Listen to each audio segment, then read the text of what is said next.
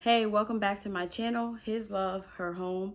If it's your first time here, my name is Frances, and I'm a stay-at-home homeschooling mom of four boys. I am presently schooling fourth, seventh, and eighth grade. Today, I'm going to share with you what my seventh and eighth graders are doing this year for homeschool. Let's jump right into it so I don't waste your time. Let's go. So, first things first, my sons are reading the story of the world. Um, I will do a separate video on how they're using the story of the world, what we're adding to it. You will see one of those things today. And um, yeah, how we're going to read all four of these books today. I can say we are in at chapter six. For me, I'm liking it. I hope they're liking it. We'll see. I know Caleb, my seventh grader, he um, is already through what he's supposed to do. He's a very fast reader. Um, so, yeah, he just reads ahead of everybody. But it's going good. We're liking this. Um, the next thing I'll show you is their vocabulary. This is word roots. This is an add-on for the year. This is their history timeline. Sorry about the spots. You know when kids work in grease? Yeah. So they're filling this out gradually. I told them this is something I got because I really want them to have like a cool timeline. Oh no, I'm ripping it. But basically this is one we did already. And like as we learn little stuff, I will make them basically what they learned in the story of the world. They will timeline inside their history timeline. And this timeline is from School Nest anything that I do show you today, I will try to link their websites below so you can check it out if you like. So the next thing I'm going to show you is Math-U-See for my 7th and 8th grader. My 8th grader is in pre-algebra and my 7th grader is in Epsilon. As you know, Math-U-See is a mastery program. So with my 7th grader, I'm trying to do this one and the next one. So he is ready to go straight into pre-algebra next year. If not, if he moves faster than that, whoa, we'll go further than that. Um, they don't really have a lot. I can say cursive, um, they're not doing this year. And what you won't see on this video, which they are doing in their homeschool group, um, they're doing current events and spontaneous, basically speaking. Um, it's like a public speaking class, but with current events mixed in. And then they're also taking literature. With their first literature, they are reading Macbeth and sorry about the horn. They're also taking chemistry and basically this class covers chemistry, but it kind of changes every couple of weeks. Right now they're doing chemistry, matter, atoms, stuff like that. It's basically a class so that they have success in high school science. So it covers all of the categories of science, which is something that I loved. The last thing that they have is art, so I don't have to cover any art this year for any of my kids unless we have a fun art day. So that is something I was like, that's good. I like that, even though I still do like to do art with them. So you will not see any of those subjects here.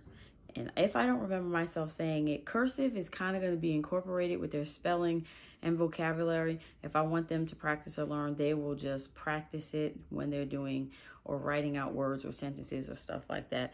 Which leads me to Fix It Grammar. Um, this is their grammar and it goes with their writing through IEW. Um, this is Fix It Grammar. This is an example relating to cursive. If you wanted your child to practice cursive, when they have to go in here um, and fix all the grammar things instead of writing it in print, they could do it in cursive or do both. So I think that's another way to help incorporate cursive if you want your older kids to still practice cursive. So that is something that I will be doing with Fix It Grammar. We have already completed week one of this. It seems very doable and easy for them, which I'm like, mm, I don't know whether I want it to be easy. But I do notice that it does get a little bit harder or more things to do towards the end of the book. So, um, yeah, we'll see how this goes. Um, together, they are doing style and structure.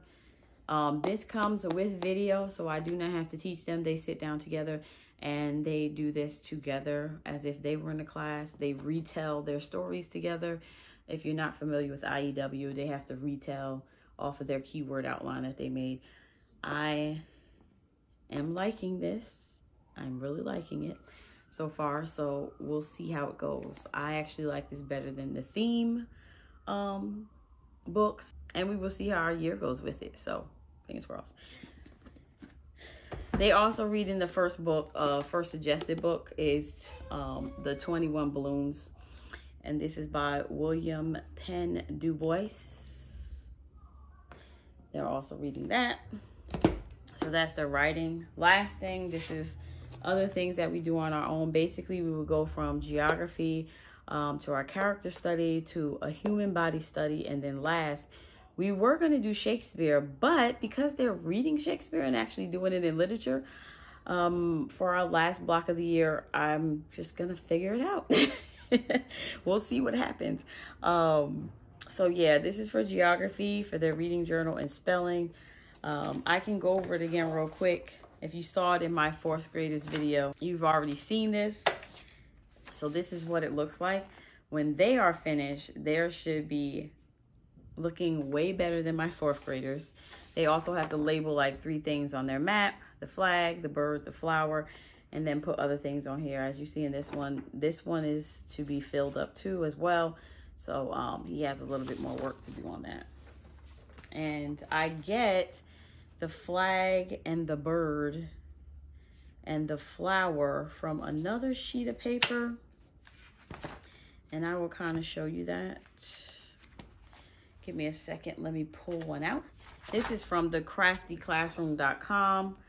Um, so basically, they take this and cut this out, cut this out, and cut this out, and they put it onto the other sheet of paper so they don't have to spend their time drawing and you know only one of my sons really likes to draw so i don't want to have to overdo it. I am thinking about adding in a eating around the usa book so every week we can cook together maybe on a friday evening something from that state. I am really thinking about doing that because all my kids like to cook so why not do it right? The next thing that they have in there is a um, they have a fiction and a nonfiction reading journal. If you have not heard of Not Consumed Ministries, I really like her stuff. Um, we did a Bible study from them last year, and this is just a journal book, a reading journal. This is the fiction reading journal. There's also nonfiction, so when you pay for this, you get a fiction and a nonfiction journal.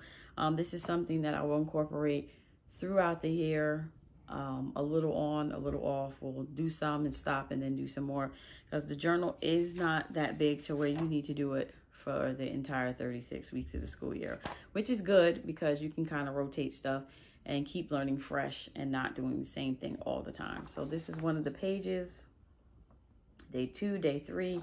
Um, it has character. Um, when you're working on the introduction, the list of characters, main characters, minor characters. This is something that actually might really work great on um, Macbeth. The last thing is their spelling words.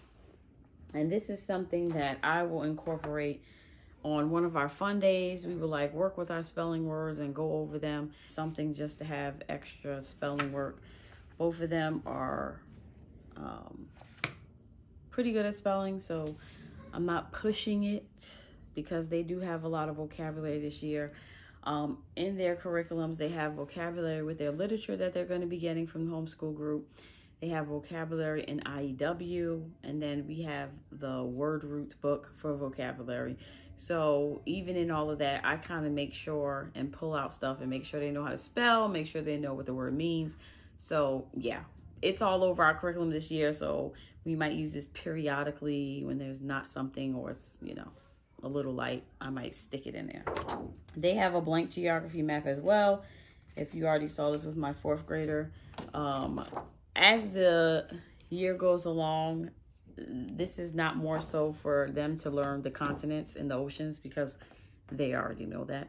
But after we finish our study of the 50 states, they're going to more so go into rivers and um, deserts and stuff like that and mountains. And we're going to kind of like label those things on this map so they kind of know where they're at and a little bit about them.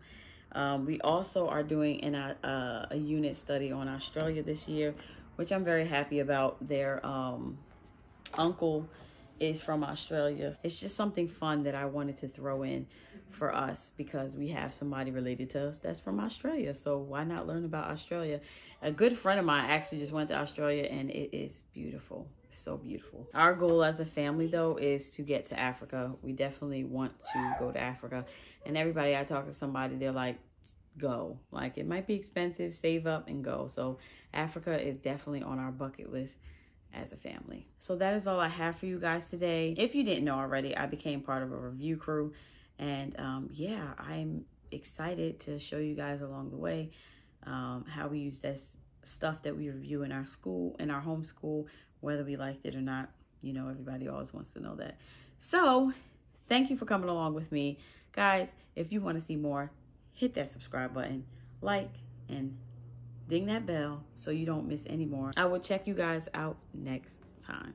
Bye.